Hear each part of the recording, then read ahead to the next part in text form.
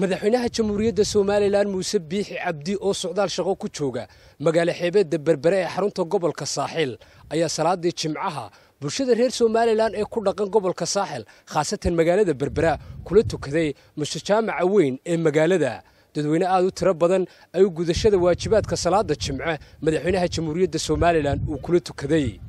ilaahay subxaana wa tacaala cadaabulqabriga iyo cadaabka jahannama intaba ilaahay subxaana wa tacaala ayaa kaa magangelaya waayo de waxaynu ognahay qof walba de intuu doonaba ha noolada inuu soconaayo. Oo wuxuu baa ka horreeya laba midkood xorfo ka mida xorfad naara iyo beer ka mida beeraha jannada. Ilaahay subxaanahu wa tacaala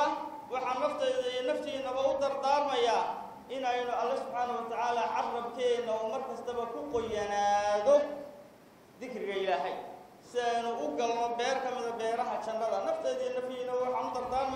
dardaarmayaa in aynu noqonno qaar dikriga ilaahay subxaana wa tacaala iyo xuskiisa ku haya mar kastaba maskaxdooda ku haya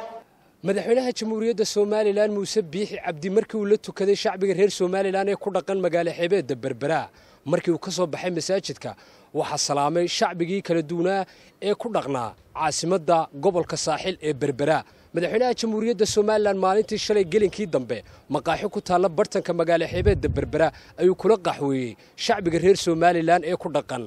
magaalo xeebeedda berbera taasoo ka mid ah dareennada kala duwan ee madaxweynaha jamhuuriyadda somalilan uu la wadaagayo shacbigiisa waxaanu madaxweynuhu ku guda jiraa socdaal uu ku gaalaabixinaya gobollada saaxil togdheer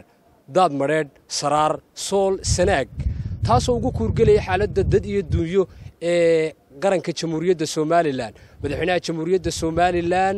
magaalo xeebeedda berbera ee xarunta gobolka saaxil ayuu ku sugan yahay. Ridwaan caydiid ismaaciil akiid wararka madaxweynaha telefishanka qaranka jamhuuriyadda somalilan magaalo xeebeedda berbera